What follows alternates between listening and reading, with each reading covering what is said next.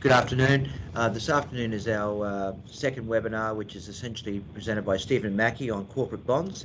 This follows our earlier discussion we had with Morningstar Investment Management on uh, equities. Uh, so this is a welcome change, perhaps. Uh, so I'd like to introduce Stephen Mackie to talk about corporate bonds in this current environment. Thanks, Steve. Thanks, Murray. So, Murray, I, I thought I'd start I'd, with a bit of a look at history. I together uh, that I've sort of published out on LinkedIn and sent to our clients, and happy to share with your clients as well. But, but really, the, the only thing that we can go on with this event is history. Uh, so I had a look at what uh, what happened in some of the major, you know, the major we call them flight to quality risk off events you know, over the past 20 years to see if there's any parallels. And obviously, you know, the September 11 tax and, and the GFC instantly spring to mind. But, but there was actually a, a pandemic um, that was the swine flu, and that occurred in 2009. Uh, now, how the market reacted to that was, was very different to what we've seen today. So, you know, as, as bond investors, we're, we're sort of conscious of what happens to the entire capital capital structure. So, obviously, you know, if a company's equity is not doing too well, then you know that can affect their bonds as well. But, but really, it was, it was just to kind of gauge some sort of guess as to when normality would return to the market. So. Uh, it's it's been a pretty fast moving weekend. We've seen case numbers jump by about 40,000 over the weekend. Uh, this is the biggest single jump in coronavirus cases that we've seen, uh, and similar to what happened in China around about 13th of February. So obviously the market hasn't liked what it's seen over the weekend. Uh, the Fed has done unprecedented measures uh, by cutting twice intra-meeting, and again, they really only do this when there is a crisis. So by all means, this is uh, it is a crisis, but I'd be first to point out that this is a medical crisis uh, that, if it's not contained quickly, can spill over into the economy. So, so governments are doing as much as they can. I think that's what they're there for. They're there for, to, you know, take our taxes off us and then provide us with uh, services such as defence and health. And this is really when uh, governments will be judged going forward. But you know, in this paper, Murray, it's, the swine flu is very different to the corona flu, um, to the coronavirus. Uh, you know, the coronavirus is a lot more contagious uh, than swine flu was, and really, swine flu was a it was a young person's illness that, that really broke out in Mexico uh, and affected young people, whereas the coronavirus, as we've seen, tends to be more more fatal to, to older people and those with respiratory illnesses.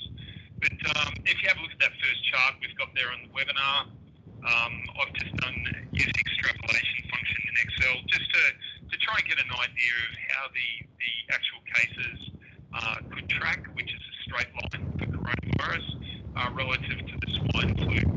So in terms of the quantum of numbers, um, you know, the coronavirus is obviously following a similar similar case uh, caseload as we saw in 2009.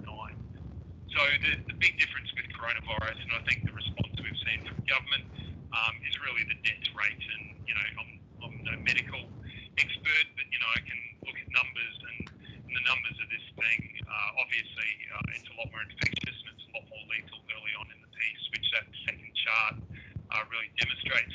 So that, that just tells you why governments into gear, why the, the, the measures we've seen, uh, you know, that many are saying are quite draconian, uh, unnecessary. Uh, you know, talking to people in the US over the weekend, uh, kids have been sent home from school for a month, uh, really just to restrict that, that case growth rate, which is what we've seen countries like Singapore do very successfully uh, by limiting you know, the movement of their citizens. They've been able to flatten out, out that case rate uh, and just let their medical medical staff and uh, medical services recover and deal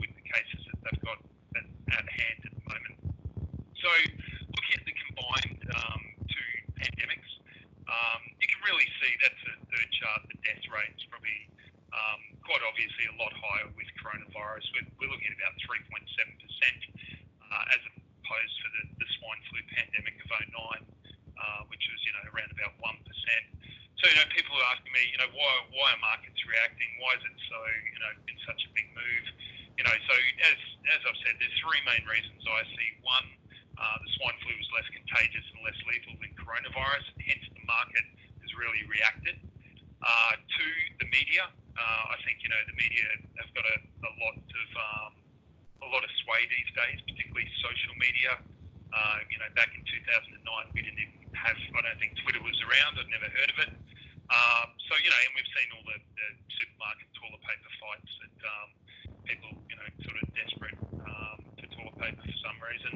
Um, that's uh, that, that's been around. So, but you know, more importantly, we're here to talk about the market. So, you know, the market levels between where we were in the world in April 2009 and January 2020 uh, could really not have been too too more different.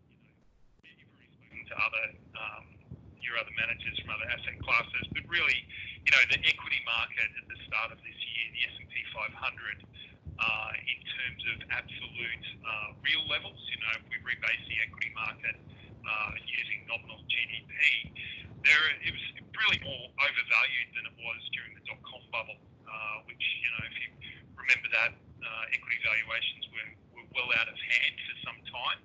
Um, but the, the S&P was more overvalued than that with earnings. Uh, it was trading around about you know 23 times earnings at, at one stage in January. Uh, you know there was a lot of good news around. Uh, the Iran thing had blown over. There was plenty of stimulus around. Trump was looking quite good. Um, you know there are plenty of reasons for people to come out and buy equities in January, which is what they did. So you know let's have a look back to 2009, and we're at the tail end, you know, sort of the the darkest days of the GFC you know, Lehman had collapsed in 08.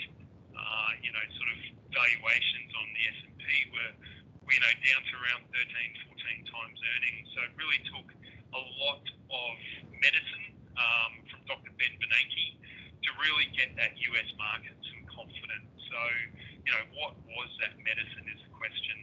So uh, we really saw direct intervention from federal federal um, Federal Reserve at the time. Um, you know, it wasn't the first time that the Federal Reserve had intervened uh, during a crisis. Uh, they, they'd helped out in 1994 uh, during the collapse of long-term capital management. Again, they, they helped out in 98, um, and again after 2001, uh, the 9/11 attack. So, you know, the Fed is active in the market, as is our own Reserve Bank of Australia. Uh, but really, you know, that involves reducing rates. So that's known as monetary policy. Uh, and we've seen an aggressive reduction in uh, the cash rate. Now, as investors, we don't really borrow at that RBA cash rate uh, or lend at that cash rate. We, uh, we're, we're more determined by where the banks do business. And the banks, you know, typically will offer deposit rates, you know, say about 1% above where the cash rate is. That, that's really affected um, deposit rates. They've been hit quite uh, drastically, um, which means investors are looking for other alternatives such as fixed income, uh, which you know will typically offer to rates two to three percent above the uh, three-month deposit rate. So you know the, the next thing is um, is fiscal measures, which we've seen as well. We saw back in 08, uh, you know there was government subsidies. Uh, the Rudd government at the time uh, guaranteed the debt uh, i.e., the bonds of not only the banks, but they also guaranteed the bonds of state governments, um, state governments such as Queensland. Uh, at the time, you know, we obviously had a lot of debt then, and we do now. Um, but the federal government stepped in and provided a, a Commonwealth guarantee uh, on a, a, whole range of bonds. So that that helped put some confidence in the bond market, which really is the uh, is a key driver for financing of the economy. So, you know, large companies and large banks typically rely on the bond market to draw down financing. So, whilst they have their, their equity uh, issues, uh, a lot of their day-to-day and sort of year-to-year funding is tapped out of the bond market. So, so really getting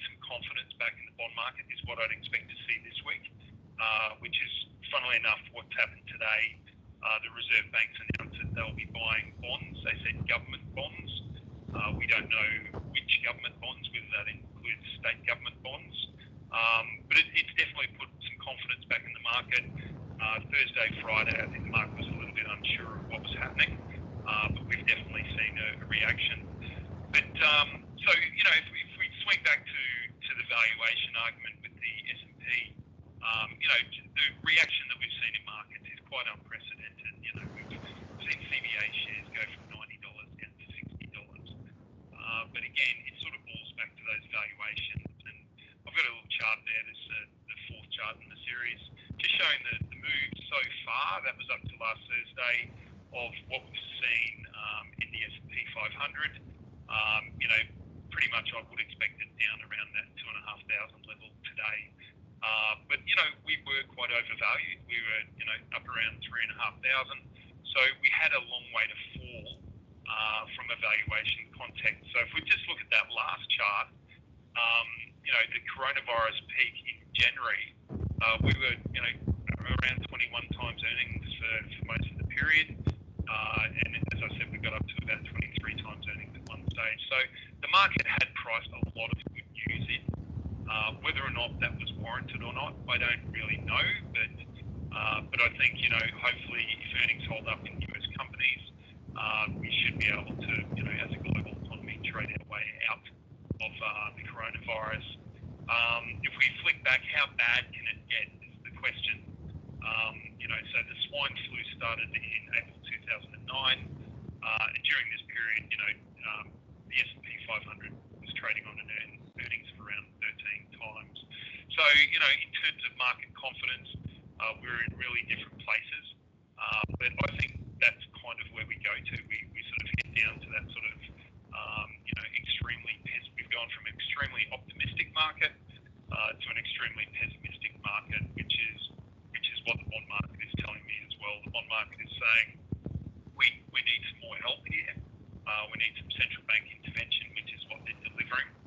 Uh, I would say in this crisis, most central banks have behaved to a T. Uh, there hasn't been much reluctance to act, uh, which has been good. Uh, and I think they're communicating really well with the market, which is good. So, you know, I think, as I said at the start of this, Murray, it's, this is a medical crisis. It's, it's very sector specific. So we're, we're seeing specific sectors uh, of you know specific issuers, their bonds get affected. So by that I mean companies like Virgin, uh, their, their bonds obviously have been uh, quite heavily affected by this, as are most of the bonds that have been issued by airlines. Uh, retailers as well, we're seeing uh, the bonds issued by David Jones, uh, you know, obviously trade um, quite heavy, but you know, again, that's an expected flow-on effect from this. Uh, I think for most of our investors, Murray, though, we, we hold very good quality companies. Uh, and again, a lot of those companies, uh, some of them, uh, you know, such as the, the Royal Women's Hospital, Sydney Airport, uh, they're, they're under underpinned by strong assets. Yeah. Uh, have you know senior ranking and they're senior secured. So, so we're, we're quite confident, and a lot of our investors have, have been ringing in and, and, and actually thanking us and saying, look, you know, I'm, I'm watching my equities have fallen 20, 30 percent. How my bonds and um, a lot of cases they're you know stable to have gone up. Um, yeah. But it, it, it's it's a long game, Murray, and that that's the thing. This will pass. This had a defined start, has a defined finish, um, and I think we just need to look through that as bond investors and and uh, you know let the bonds do what they're designed to do, which is provide that income, provide that capital security. Um, and capital preservation during these uh, these crazy times that we're in at the moment. Yeah, so there's nothing on the horizon that you can see in the corporate bond market that would upset the, the, the, the barrow, as it were. Um, nothing, nothing that there isn't a cure for. Um, this is the thing that um, you know I've been through a few of these and had the grey hairs to prove it. That I'm sort of saying to some of the younger team members, everything that we're seeing now, they've cured before. So you know, if you almost think that um, the market has immunity, it does. Uh, and central banks are effectively the pharmacists. So as as the market goes uh, toing and froing, the corporate bond market we're talking about, um, the Reserve Bank, who is the ultimate pharmacist of the corporate bond market, they'll release um, medicine as and when it's required. So we saw today they put a statement out saying, look, government bonds, they didn't have a great week last week, we're going to buy them. Um, you know, they'll look at state government bonds next, and then finally, uh, before state government bonds, they'll probably look at mortgage-backed bonds, which is a sector we don't we don't look at, but that really provides confidence for the housing market. Yeah. Uh, investors that buy bonds issued by um, you know uh, mortgage-backed bonds, which is a, a, another sector, and then ultimately, if they need to, by that stage, they can look at the corporate bond sector. But the, the Aussie corporate bond market is relatively small, and I would say it's relatively tightly held. Uh, so we're, we're not seeing a lot of sellers in the corporate bond market. Um, we're, we're seeing prices, you know, sort of marked here and there, reflective of the of the nervousness in the market, but we're not really seeing any investors wholesale selling at this point in time. Yeah. Uh, so I, I think it's more a, people are taking a wait and see approach. Uh, they know that there's there's more stimulus coming, uh, and they know that that stimulus will have a reaction to the market. Yeah, so I'm hearing from this presentation that for our corporate bond holders, and there's quite a few out there, essentially um, steady as she goes. The income's still coming in. The portfolio hasn't been marked down a great deal at all, if any. If any. Uh, and um, essentially, there's nothing to be concerned about that that's not already known in the marketplace. Exactly. Not not not for me at this stage. I mean, there's there's uh, obviously you know reluctance for people part with cash for any assets at the moment. I think you know if I was buying a house, I'd maybe uh, want to wait it out a couple of weeks and just see how this all pans out. Uh, but you know, yeah, we're, we're definitely seeing people. Um, you know, some people chose to sell a few bonds on Friday, and you know we were able to do that quite comfortably. Um, but generally, I'd, I'd say the portfolios are doing what they were designed in this in this period to do, which is pay the coupons and, and preserve that capital. So uh, we're, we're pretty comfortable with what we've got. Okay. Um, well, so I think um, that's that's probably the, the gist for today, Stephen. We appreciate you coming along. Um, any, any parting comments you might want to make at this stage? Uh, yeah, I, I, would just say, you know, it does always seem darkest before the dawn. Uh, we have seen this before, uh, but I think this has it, it, has an end, an end date to it, uh, and there could be some really good bargains out there. So, you know, it's um, you know, as longer term investors, uh, we've just got to be prepared for the speed bumps in the road, and you know, look at them as opportunities. But um, yeah, personally, I'd just say keep your distance and wash your hands. Okay. Thanks, Steve. Appreciate your time today. We'll speak soon.